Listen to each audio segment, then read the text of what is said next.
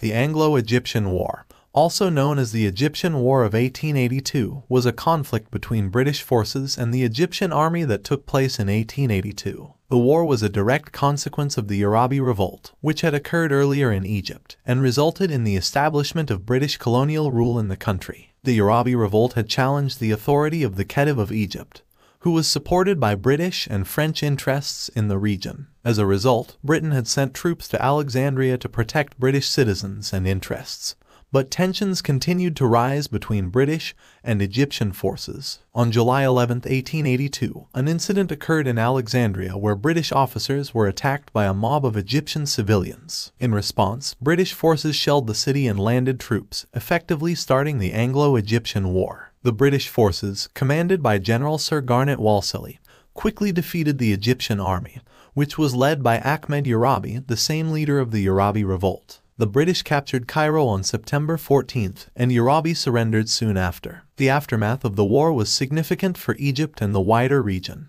Britain established a protectorate over Egypt, with the Khedive remaining as a figurehead but real power held by a British-appointed governor. This marked the beginning of British colonial rule in Egypt, which would last until 1952. The war also had wider implications for British foreign policy. It marked a shift towards imperial expansion in the Middle East and North Africa, as Britain recognized the importance of securing control over key strategic areas such as the Suez Canal. The war also demonstrated Britain's willingness to use military force to protect its economic and political interests in the region. The Anglo-Egyptian War was not without controversy, however. The British use of force against the Egyptian civilians in Alexandria was condemned by many, and the war was criticized by some in Britain as a costly and unnecessary intervention in a foreign conflict. In conclusion, the Anglo-Egyptian War was a significant event in the history of Egypt and British imperialism. It marked the establishment of British colonial rule in Egypt and the wider region, and demonstrated Britain's willingness to use military force to protect its interests. The war had lasting implications for the political and economic development of Egypt, and its legacy is still felt in the region today.